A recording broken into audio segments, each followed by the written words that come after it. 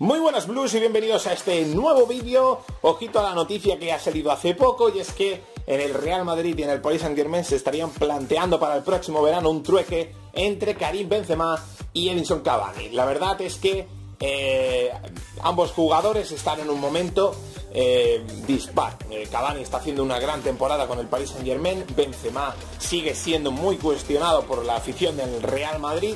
Lleva ya muchos años y la afición ya estaría cansada. El Madrid vería con buenos ojos darle ya esa salida y que llegase eh, Cavani. Se han informado de que, bueno, no habría dinero de promedio, sino sería un intercambio entre jugadores, Benzema al Paris Saint Germain y Cavani al Real Madrid. Lo que es cierto de todo esto es que Benzema Sí es posible que se marche este verano, después de eh, creo que 10 años defendiendo la elástica del Real Madrid.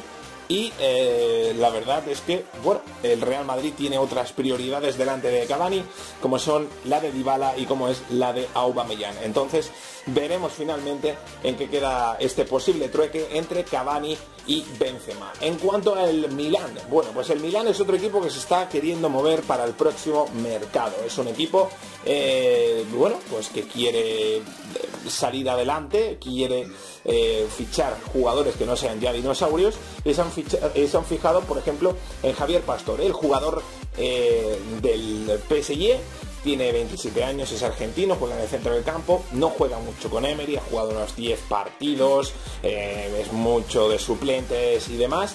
Y la verdad es que estarían muy, muy, muy interesados en, en, el, en el Milan, en que Pastore sea ese refuerzo para el centro del campo, obviamente. También ha sonado Musa Sissoko para el Milan, el jugador eh, llegó el, pasado verano por 35 millones eh, del Newcastle, eh, la verdad es que hizo, una Eurocopa brutal y lo fichó el Tottenham. Y ahora pues bueno, pues podría poner rumbo a Milán, Musa Sissoko, Javier Pastore para reforzar ese centro del campo, bueno, pues de, lo que viene siendo el AC Milán. La noticia que también ha salido a la luz es que el Leicester ha destituido a eh, Claudio Ranieri, lo cual, eh, bueno, pues eh, no deja de ser sorprendente.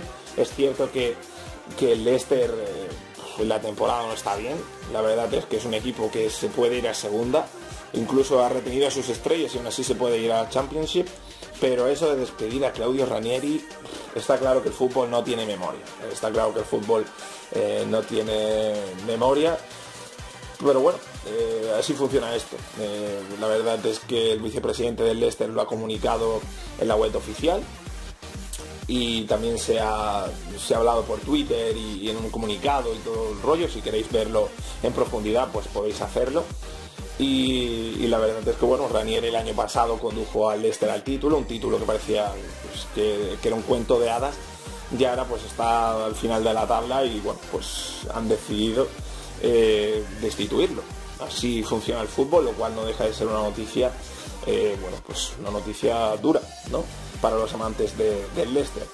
Eh, ¿Qué más? Bueno, Wayne Rooney, que estaba en el punto de mira, parecía que se iba a, jugar a China, el Tianjin Quantian pero no. El Manchester United ha confirmado que, pese al interés del equipo chino y, el propio jugador, lo ha comunicado a través de la página del club, ha hecho oficial que el capitán, que Wayne Rooney, va a continuar jugando. Así que eh, Wayne Rooney va a seguir siendo el capitán, lleva ya más de 12 temporadas en el Manchester United, ha marcado 250 goles, eh, en fin, está, eh, es un jugador que es una leyenda del United y va a ser el mejor pagado de China, pero al final Wayne Rooney se queda. Y el Borussia Dortmund sigue en su plan eh, de fichar jóvenes promesas. Hay un acuerdo entre el Borussia Dortmund y Austin, el jugador delantero centro del Paris Saint Germain. No juega mucho Jean Kevin Austin eh, porque en el Paris Saint Germain está Cavani y la verdad es que Kevin no está contando mucho con este chaval. El Borussia Dortmund lo tiene como plan B por si Aubameyang se marcha este verano, que por según las noticias todo parece indicar que sí, luego ya veremos qué ocurre y eh, bueno, pues el acuerdo ronda los 8 millones de euros. Sería otro delantero, ya han fichado a Isaac también, así que bueno, el Borussia Dortmund pues va a seguir reforzándose con jóvenes promesas.